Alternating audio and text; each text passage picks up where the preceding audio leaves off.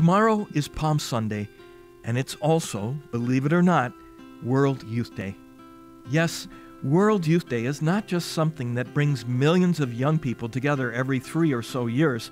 It's an annual event that dioceses around the world are encouraged to celebrate, and tomorrow is the 30th annual one. Hello, I'm Father James Kubicki of the Apostleship of Prayer, the Pope's Prayer Network, and I'd like to share with you the message Pope Francis wrote for tomorrow that is based on the Beatitude Blessed are the pure in heart, for they shall see God. The word blessed, or happy, occurs nine times in Jesus' first great sermon. It is like a refrain reminding us of the Lord's call to advance together with Him on a road which, for all its many challenges, leads to true happiness. God has placed in the heart of every man and woman an irrepressible desire for happiness, for fulfillment.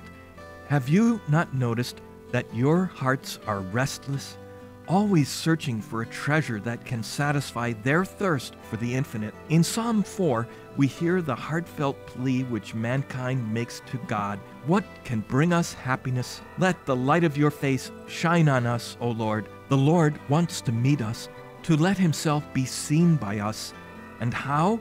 You might ask me? St. Teresa of Avila, born in Spain 500 years ago, even as a young girl said to her parents, I want to see God. She subsequently discovered the way of prayer as, quote, an intimate friendship with the one who makes us feel loved. So, my question to you is Are you praying? Do you know that you can speak with Jesus?